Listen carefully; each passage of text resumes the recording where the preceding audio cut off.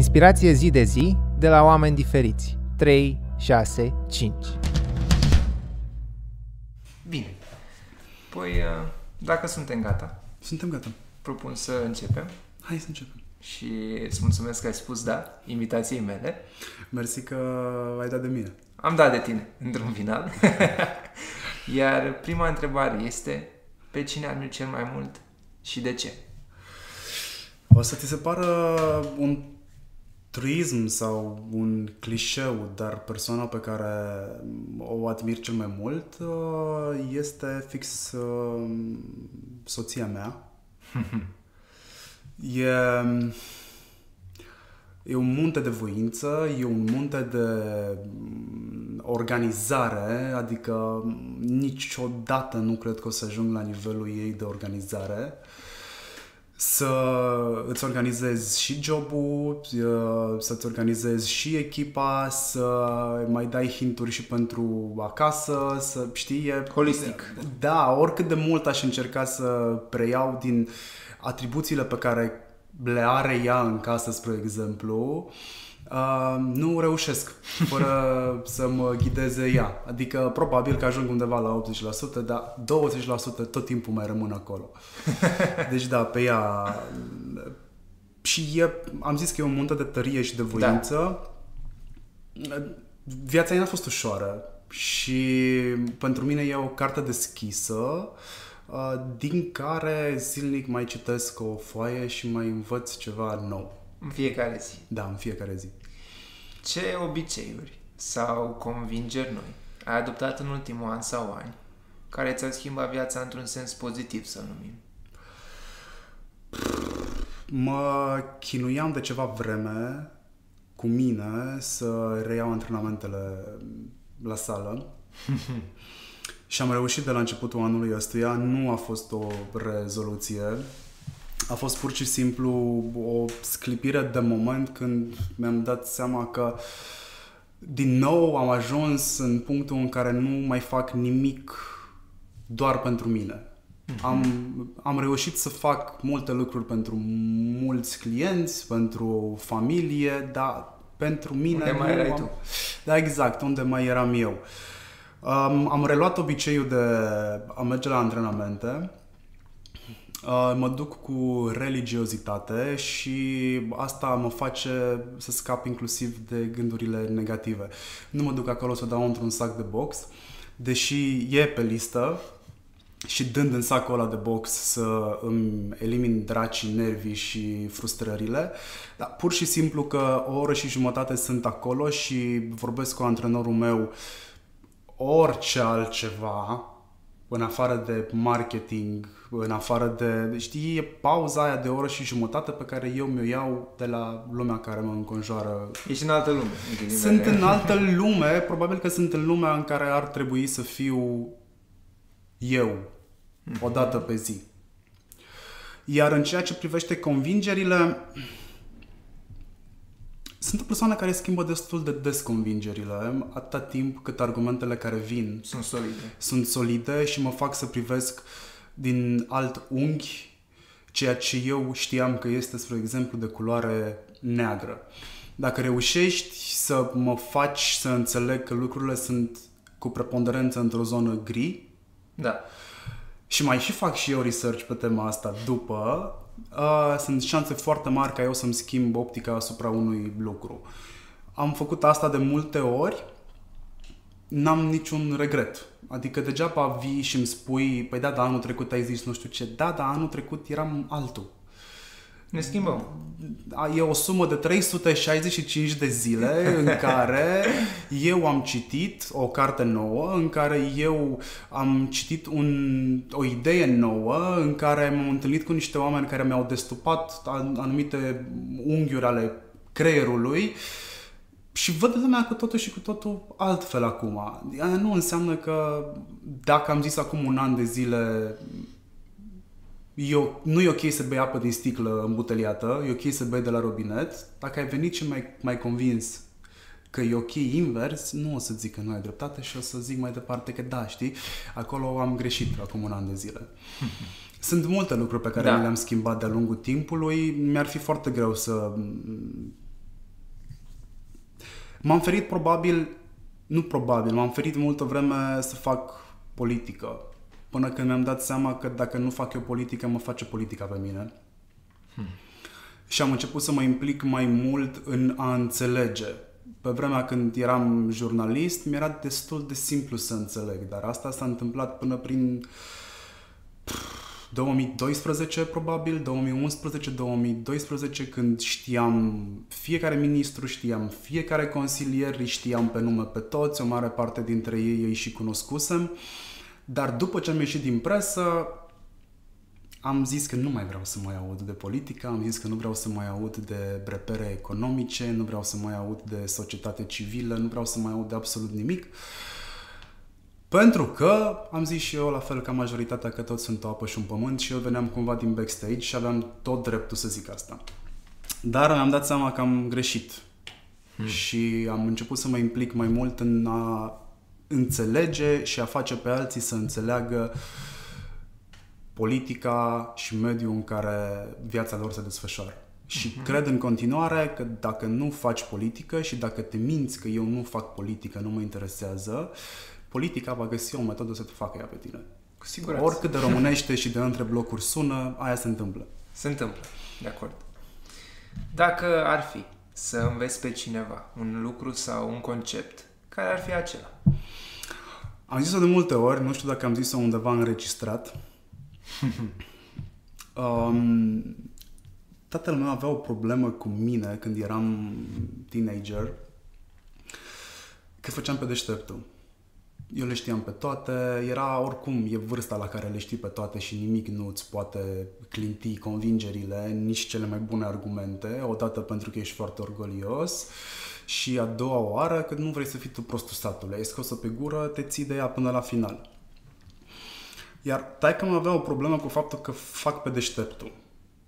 N-am înțeles multă vreme ce vrea să zică, pentru că pentru mine era clar, dacă sunt deștept, înseamnă că trebuie să fac pe deșteptul. Eram destul de conștient că nu sunt cel mai slab din parohie, știam că am argumentele la mine, o dădeam înainte. Până când mi-am am început să, mă rog, până când am început, până când mi-am deschis business-ul prin 2012 sau 2013 și mi-am dat seama, am înțeles în sfârșit ce voia să zică tata.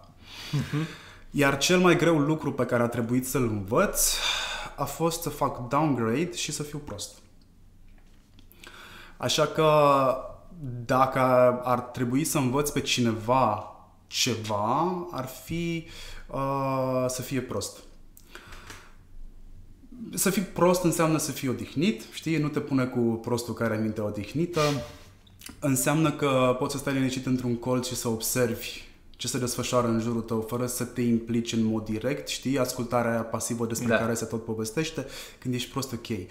Dacă dai senzația că ești de nebăgat în seamă, uh, ești calm, pe acolo. ești pe acolo și tu, adică ești ca apa sfințită, nu faci nici rău, nici bine, lumea nu o să aibă o problemă cu tine, uh, o să aibă o problemă cu tine în momentul când faci pe deșteptul, pentru că ghinion nimănui nu îi plac deștepții.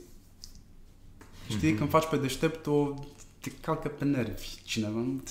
Te rog eu, nu mai face pe deșteptul, lasă-mă așa acolo. Vorbești când ești întrebat, îți dai cu părerea când ești întrebat, nu te bași tu ca musca în lapte, Astea au fost cele mai dificile lucruri pe care a trebuit să le învăț. Nu venit cu exemple de la tine, chiar dacă ai trecut prin foarte multe până la vârsta respectivă și ai avut N experiențe care pot să pluseze sau să încerci să schimbi optica cuiva, mm, nu. Don't do that. Don't do that. Folosește energia asta constructiv în alte interacțiuni eventual cu persoana respectivă. A fi...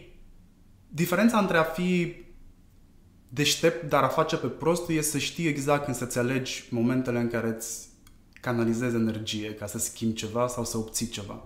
Și de obicei, din pozițiile astea insignifiante, care îți permit să observi tot în jur, îți dai seama că dacă nu faci pe deștept, nu te observă nimeni și atunci încep oamenii să-ți povestească lucruri pe care nu le-ar povesti în mod normal. Uh, afli cum gândesc oamenii pentru că ei vor simți nevoia să facă pe deștepți prin comparație cu tine. Vei vedea unde sunt carențele lor de înțelegere al lumii, a sistemului în care funcționează, carențele profesionale pe care le au vei ști cum să abordezi probleme pe care ei nici măcar n-au știut că le au la un moment dat. Sau te poți folosi pur și simplu de hai să o dăm pe House of Cards sau pe Game of Thrones. Te poți folosi strategic de neajunsurile lor mai devreme sau mai târziu. De, de altfel, există și în Biblie povestea cu, știi, nu-i da omului peștele, dă-i undița da. și învață-l cum să facă asta. Mie mi se pare că ăsta este cel mai greu lucru pe care trebuie să-l faci când ești deștept și plin de tine, că de fapt despre asta este vorba. Știi, ești plin de tine, de altfel, dacă te vorbeam de Biblie, asta este și un păcat biblic, știi, să nu fii mândru.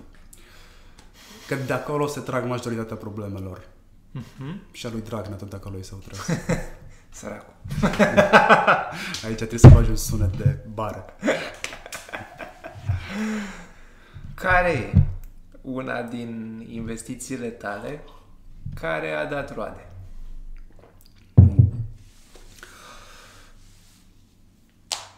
Cu maximul de modestie, toate investițiile pe care le-am făcut au dat roade. Mișto. Nu știu dacă sunt un neapărat un strateg foarte bun. Eu cred că sunt un strateg foarte bun.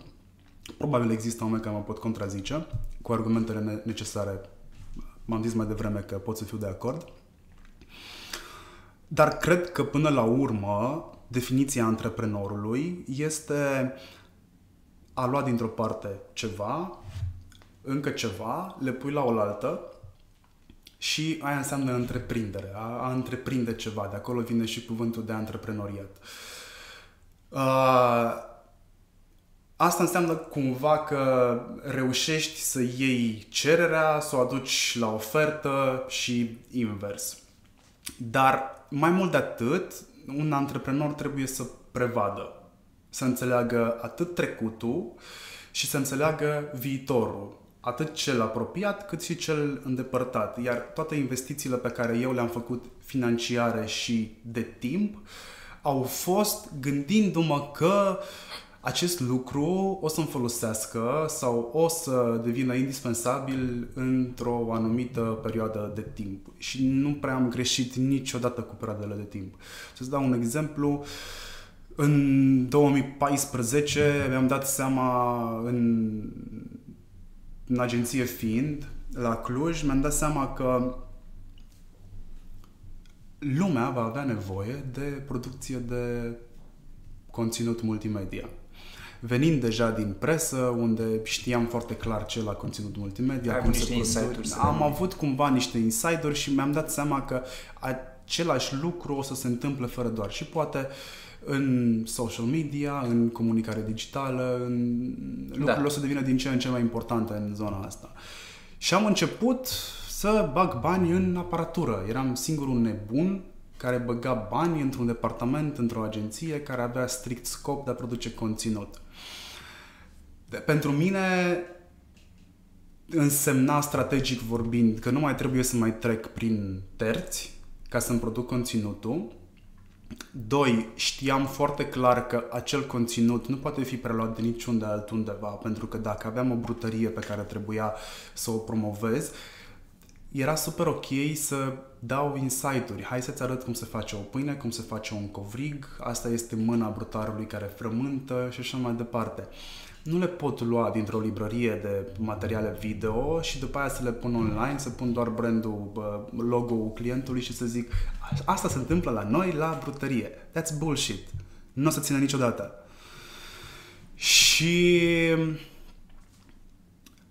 mai era a treia chestie, fapt erau patru, a treia era că trebuie să am control asupra procesului de la strategie implementare până la producție da. inclusiv, iar prin terți să subcontractez însemna că trebuie să mai adaug încă doi pași în procesul de creație, trebuie să-i fac lui Xulescu cumva cunoștință cu ce înseamnă proiectul și eventual să-i fac o întâlnire cu clientul, să mi-l accepte în proiect, că nu funcționează lucrurile așa cum vrei tu. Mm. Și după aia trebuia să depind de terți ca să mi se livreze la timp, ca să se întâmple lucrurile exact așa cum vreau eu, în viziunea pe mai care multe am filtre, avut-o. Exact, mai multe filtre. Și asta însemnau filtre, straturi adăugate inutil într-un proces de creație care în esență ar trebui să fie simplu. Plecăm de la punctul A și ajungem în punctul B exact cum e o mașină din parcare și te duci la destinație.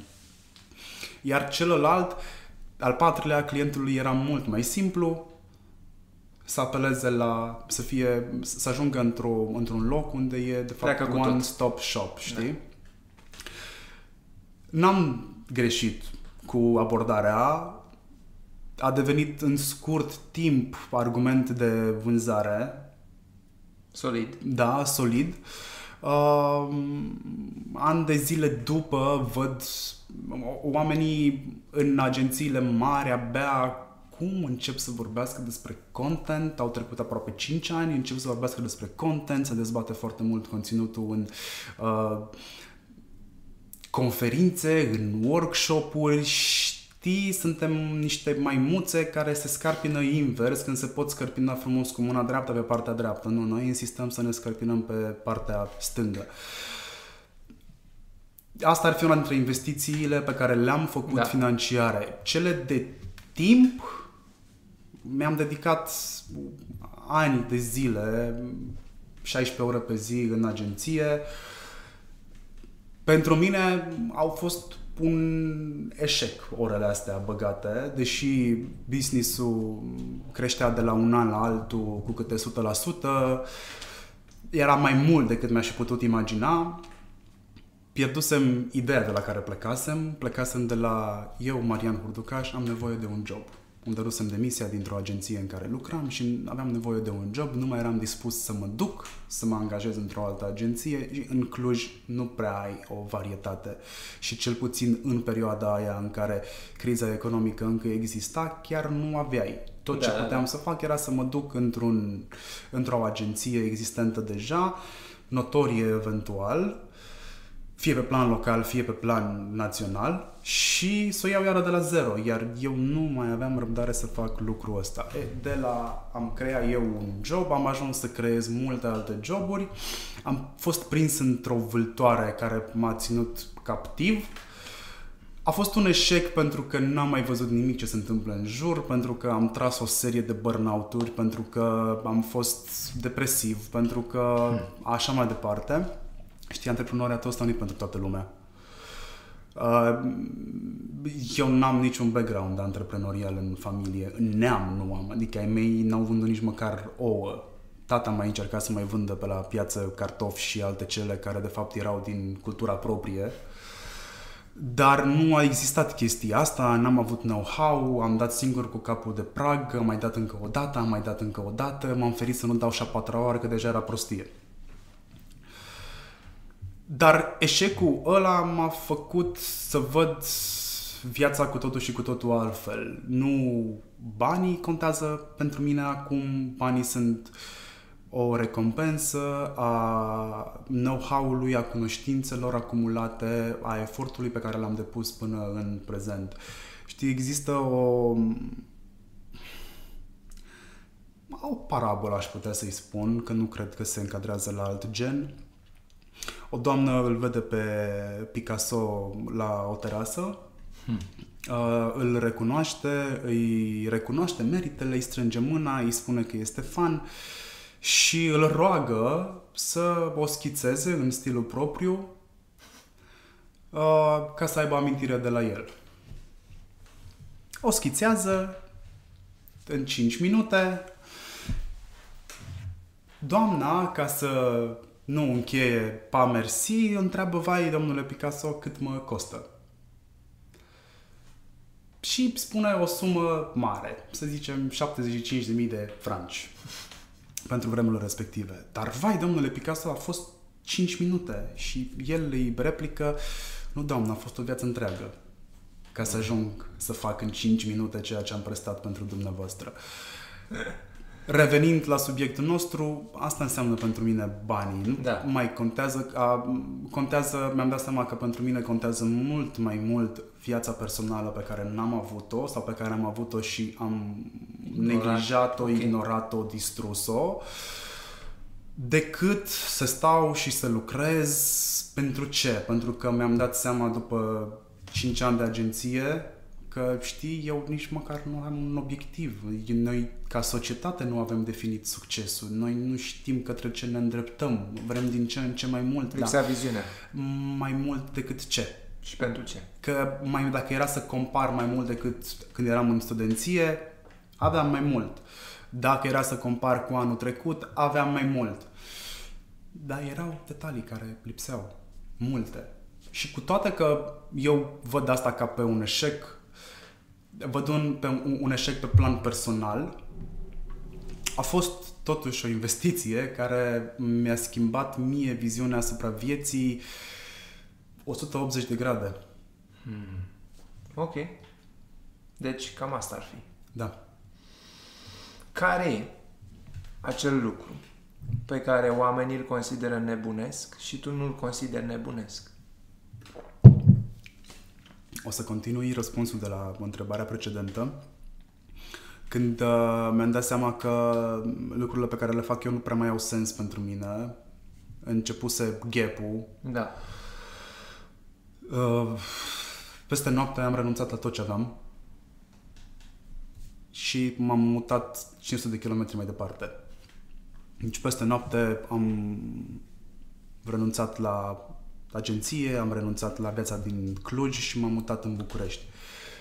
Oricui îi spune chestia asta, e o nebunie. De- Eu am făcut-o și nu mi se pare o nebunie. și aș face-o încă o dată. Oriunde, oricând. Da. Ce ai pune pe un afiș care ar fi văzut de tot globul?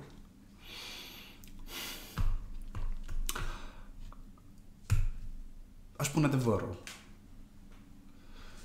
Dar adevărul ăsta, după regulile simple de comunicare și de bun simț de comunicare, ar trebui să fie specific fiecare comunități. Știi care este adevărul pentru comunitatea respectivă, care este adevărul pentru zona respectivă.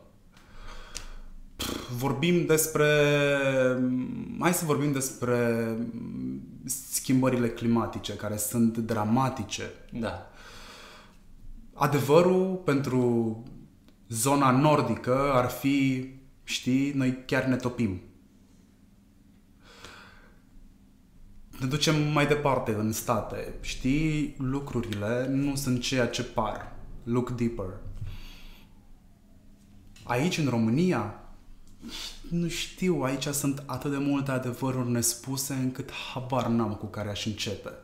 Ideea este că adevărul l-aș pune pe afișul ăla doar că în spiritul fiecarei comunități. Știi, fiecare dintre noi avem nevoie de adevăr. Și se vorbește foarte mult despre Cernobâl în perioada asta. Sunt 33 de ani imediat. Cred că au trecut deja 33 de ani. Da, s-au făcut în aprilie 33 de ani de când a explodat reactorul. Da. Ok, personajul principal din film, uh, doctorul, Legasov, dacă bine îmi amintesc numele lui, încheie miniseria de pe HBO Go de 5 episoade cu care este costul minciunilor. Că până la urmă toată povestea asta a fost o împachetare de minciuni. Da. Au tras de timp. Exact, Până nu care s-a mai putut. este ei nici în momentul ăsta nu ei nici în momentul ăsta nu recunosc că au Total. avut mai multe 31 de mm, victime. Care este costul minciunilor? Știm care este costul adevărului, dar nu știm care este costul minciunilor. Mm. Și atunci putem pleca fix de la această lemă. Pe asta ai merge. Mhm. Nișat pe pentru fiecare comunitate. Nevoia de adevăr există, Da. va exista tot timpul. Ok, că e, e un concept vag, ce e la adevăr, că adevărul nu-l găsești nici în Biblie, că adevăr... Cred că adevărul este la fel de subiectiv cum este calitatea uh, conținutului multimedia despre care vorbeam mai devreme, știi? Pentru un om care ascultă manele, calitatea este accordingly. Pentru un om care ascultă muzică clasică, calitatea este la fel, acolo. Dacă ai avea un barometru de calitate, acolo ar fi pentru amândoi. Și nu o să înțeleg niciodată de ce calitatea pentru cel care ascultă muzică clasică trebuie să se raporteze la cel care cântă muzica clasică, că a făcut niște studii în domeniu, că uh, a muncit ani de zile ca să scoată sunetele alea sau ca să mânuiască vioara sau contrabasul în, în stilul respectiv și de ce pentru celălalt care ascultă manele, pur și simplu talentul care e nativ nu poate fi, știi, la fel de important precum studiu. Da, înțeleg. Adevărul nu ar trebui să aibă valențe dar el va avea tot timpul. Cu siguranță. De aia ne schimbăm și părerile când cineva, mai destupat la minte decât noi, vine și ne spune lucrurile nu funcționează așa sau lucrurile nu sunt ceea ce par. Fii atent aici. Hai să-ți desfac jucăria. Ce faci când nu ești focusat sau când nu te poți concentra pe ceva anume? Procrastinez la nesfârșit. Just uh, mă chinui să nu fac nimic. Deci în momentul ăla, Te literalmente mă chinui să nu fac nimic. Știu că ar trebui să fac, că fac, că fac și găsesc tot timpul orice altceva de făcut. Bine. Da, nu e un sfat pe care aș putea să-l dau cuiva, bă, nu mai face aia. Eu cred că procrastinarea are rolul ei. Unii funcționează foarte bine sub presiune. Presiunea nu este ok, că te duce în alte stări. Da, nu știu, dacă n-ai chef să lucrezi în ziua respectivă, lasă-o moartă. Uh-huh. Dacă fericirea ar fi moneda națională, ce muncă te-ar face bogat? Cum ai deveni bogat? Păi nu cred, nu cred, sunt convins că nu aș schimba nimic din ceea ce fac acum. Uh-huh. Banii sunt aceiași, adică moneda este aceeași peste tot, deci aș face mai multă fericire. Din... Făcând ce faci. Făcând ce fac, da. Ce carte sau cărți ai face cadou tuturor prietenilor tăi? Nu fac foarte, fac foarte rar uh, cadouri de genul ăsta uh, pentru că sunt convins că acele cărți care mie mi-au schimbat viziunea sau optica asupra unor segmente, detalii sau m-au făcut să fac alt gen de observații, nu o să funcționeze la toată lumea. Uh, Biblia pentru mine este o înșiruire de povești foarte bine închegate. Biblia pentru un creștin practicant e cartea de căpătâi. Constituția e o carte de căpătâi pentru fundamentul unei nații, dar pentru practicantul creștin poate să nu fie, știi? Poate să fie tot Biblia fundamentul. Da. Și atunci mă feresc uh-huh. să... Cartea care mi-a schimbat mie viziunea asupra meseriei pe care o practic este Biology uh, al lui Martin Lindstrom.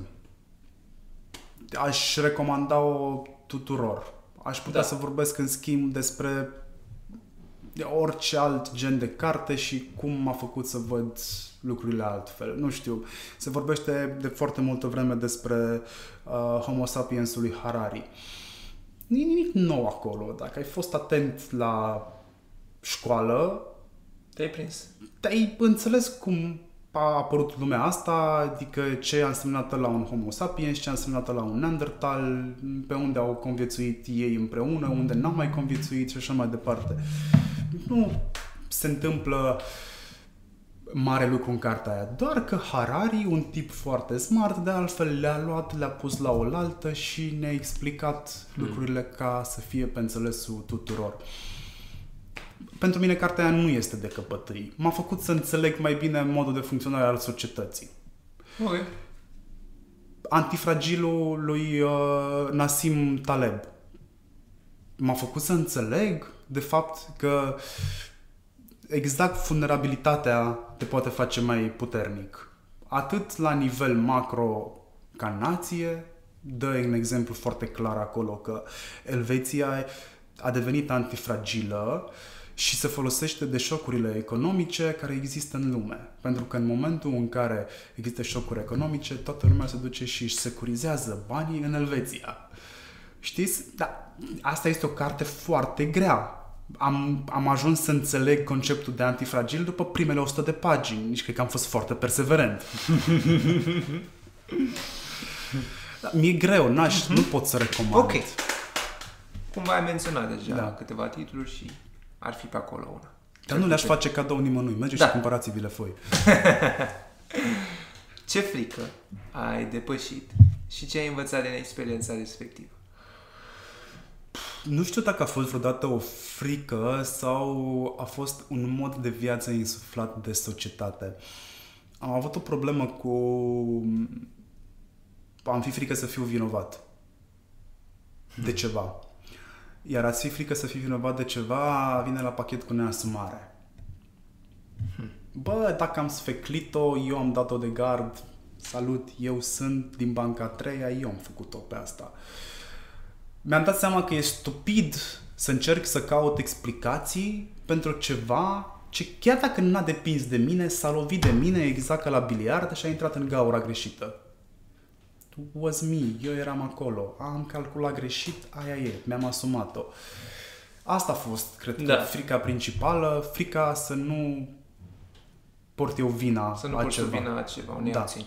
Și cred că în momentul în care înveți asumarea, nu cred, sunt convins că în momentul în care înveți asumarea, te simți eliberat. It's ok, e în regulă să greșești, chiar este indicat să greșești, se vorbește prea puțin despre greșeli și se vorbește prea mult despre succes. Iar succesul ăsta a devenit mai nou, știi, Everestul, care nici măcar ăla mai nou nu mai este de neatins. Adică și-am văzut zilele trecute coadă pe Everest. Deci nu era nimeni, amor. exact, nu era nimeni să te ia bilete, ce se întâmpla acolo? Mi s-a părut absurd. Și uite așa, succesul se devalorizează pentru că povestim doar despre succes, doar despre cum unii au avut succes și cum poți și tu să ai succes, fără să luăm în calcul uh, eșecul sau suma eșecurilor pe care oamenii l-au avut în trecut. Cumva ai uh, intuit următoarea întrebare, care cărui fapt atribui cele mai mari reușite din viața ta, dar cele mai mari eșecuri? Atribui succesul oamenilor, oamenilor care au fost pe lângă mine la momente Momentul potrivit. cheie. Mm-hmm. Da. Uh, am zis-o, o zic de N ori, sunt suma oamenilor care au fost în jurul meu și sunt suma deciziilor pe care le-am luat, probabil ghidat de oamenii ăștia din viața mea, conștient sau inconștient. Conștiența asta poate veni fie din partea lor, fie din partea mea. Îmi amintesc că fostul meu șef de la radio, cu care mă înțelegeam foarte bine, șeful la vremea respectivă de pe, limba, de pe redacția română de la Radio Cluj, Bogdan Roșca, când am vrut să ies din presă și am primit oferta de a pleca să profesez într-adevăr, să-mi ridic ideea de comunicare, de a comunica de la hobby la rang de profesie și să fiu plătit pentru asta ok. Uh,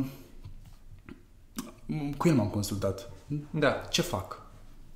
A fost atunci acolo. Rămân aici uh-huh. sau I move on? Și el m-a influențat foarte mult. Mi-a explicat și pro și contra, am luat o decizie în concordanță cu ceea ce uh, mi-a explicat. Balanța inclusiv a lui a înclinat către a pleca și a începe să fac comunicare. Țin minte că a, uite, asta am, am și uitat-o undeva într-un colț al minții.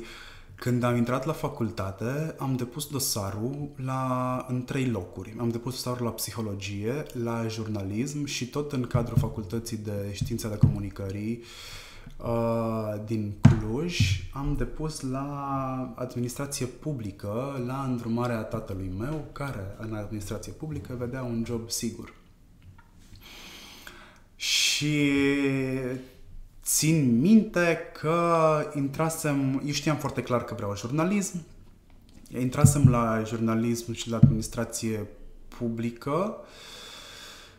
Cred că intrasem și la psihologie, dar oricum aia era a treia pe listă, a patra, a, nu, a doua era pe listă, nu era prioritară, a treia era mm, administrație publică. Țin minte că mi-am sunat uh, cel mai bun prieten de acasă, care și el fusese șeful meu în radio și l-am întrebat, bă, ce fac acum? Hmm. Where do I go? Ce aleg? Du-te la jurnalism, nu mai ți-ai dorit tot timpul. Ah, ok, bine, mersi, pa. Și m-am dus și mi-am uh, judecat locul de la jurnalism. Sunt suma oamenilor care m-au înconjurat și am avut, nu cred noroc, dar hai să zicem că dacă există oameni care ne ascultă acum și cred în noroc, am avut norocul să fiu înconjurat de oameni care m-au împins la mai mult sau m-au împins în direcția corectă. Asta e în zona de reușite. Da. Și zona de eșecuri? Uh, mai repetăm întrebarea cu Ce te-a dus către ele? Ce m-a dus către eșec? fapt atribui cele mai mari eșecuri? Uh, mie. Uh-huh. Eu sunt propriu vinovat pentru eșecurile pe care le-am reputat. Uh-huh. Din neatenție, din delăsare, din încăpățânare, din N factori dar sunt ale mele. Sunt ale tale. Și nu mă rușinez de ele. Dacă mâine ai pierde totul, ce ai face? Uh, aș lua de la început. Adică da, a lua de la început nu este atât de Cumva ai enunțat asta. Da, nu este atât de greu. Valoarea ta nu este dată de posesiunile pe care le ai. Valoarea ta este dată de ceea ce ai acumulat în tărtăcuță. ce sfat ai da unei versiuni mai tinere a ta? Asta e... Nu e așa de greu să-i spun unui hurducaș mai tânăr să nu schimbe nimic. Nu schimba nimic. Go with the flow. Vezi ce acolo. Da, vezi ce acolo. Experimentează. Uh, Poate că ar fi trebuit să experimentez mult mai mult. Lucrez și fac bani de buzunar de la 14 ani.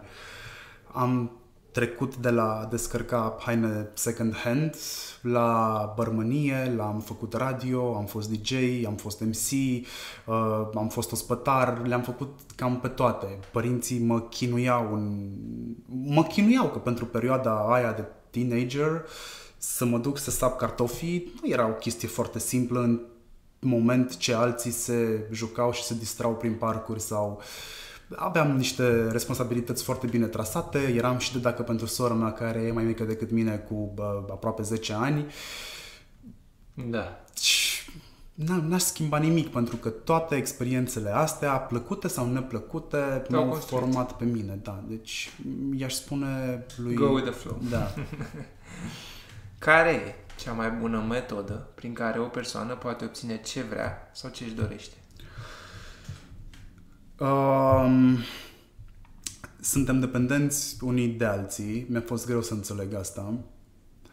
Suntem dependenți unii de alții și relațiile interumane sunt esențiale pentru dezvoltarea fiecăruia dintre noi. A nu avea așteptări, în schimb, de la oamenii cu care interacționezi e o filosofie de viață care nu te va duce la de unde plecasem eu, sapă de lemn. Dacă n-ai așteptări de la oameni, poți să faci business, nu, nu te supără nimeni, ți-ai luat o țeapă la business, ai ghinion, nu ți-ai plătit factura, nașpa, dă-l în judecată, n-am mers nici acolo, aia e, move on. Sunt fer convins că există, vor exista momente în viața asta în care țeapa pe care ți-ai luat-o de la Xulescu va fi plătită într-un fel sau altul. Care? Tot de Xulescu. Da. Tot se va ajunge acolo.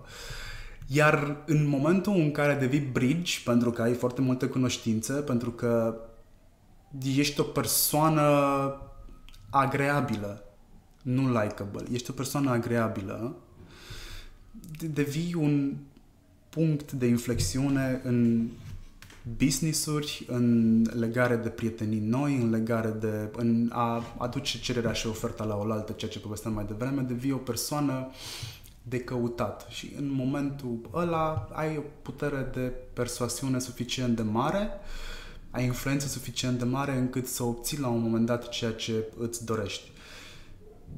Cred că ți-am răspuns la întrebare. Dacă auzi cuvântul succes, la ce persoană te gândești prima oară și de ce crezi că a reușit?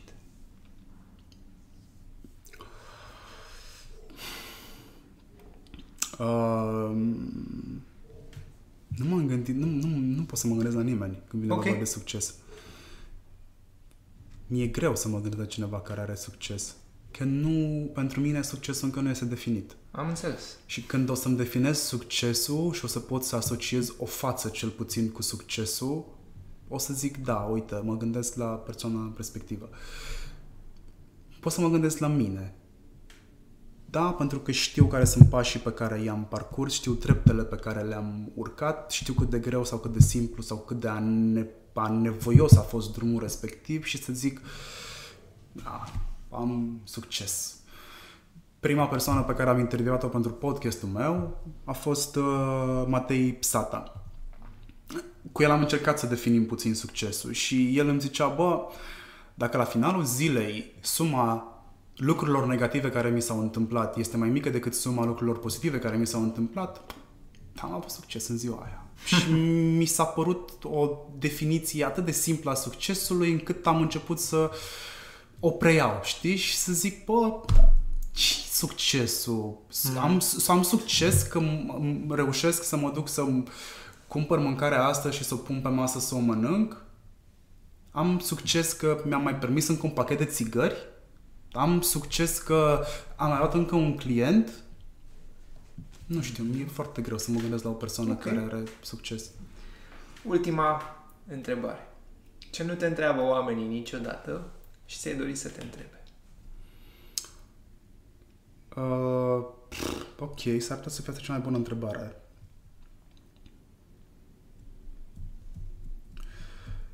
Oamenii nu întreabă de ce.